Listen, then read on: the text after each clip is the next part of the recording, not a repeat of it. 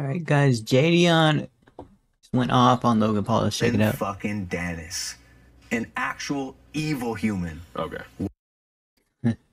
yeah, I'm sure. I'm sure Logan is not happy with what Dillon Danis has been doing. Why? Bro, this nigga's yapping. like this is Mr. Yap a lot. Like, bro. yeah, that, that's that's his job. That's most content creators' jobs. Yapping, guys. You know what I mean? A lot of yapping. It's a lot of yapping. Bro, Jack. Let's see his response here. He's your. Does he have a WNBA shirt? Oh my goodness. Oh, but Logan, he. My bad. Forest Man. He's yo boogeyman. He's an evil person to you.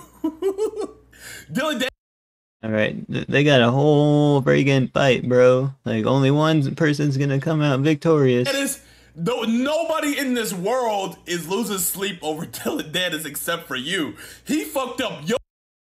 He's all over Twitter, but hey, now he knows he's he's gonna get higher pay per view numbers. Oh world. I'm not sure if he's guys. Is he on the same fight card as uh KSI versus Tommy? He didn't fuck up my world. Hey, both the both of their careers are gonna prosper here. So. Yo, chat. Do you know how much you gotta fuck somebody up from just saying stuff on Twitter that they're calling you a evil person?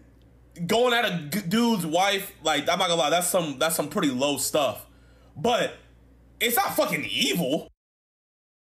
Uh, yeah, it's free speech. Yeah, he's right.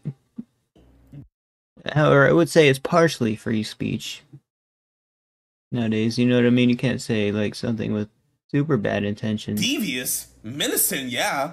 Evil? You filmed a dead body. Like that's evil. I, I remember seeing that when it when he actually uploaded it onto his channel. That's when I right before right when I became a fan of Logan Paul's vlogs. I watch every video. Puts out that uh whole uh, incident, and yeah. Realistic. He deletes it off his channel afterwards. Basically speaking, a guy that's just putting pictures up of your old fiance that are already on the internet, that's yeah, but he's he's also excessively doing it though. You know, that's just shit talking. You you you went to a place to find a dead body. You were literally the place is called Suicide Forest.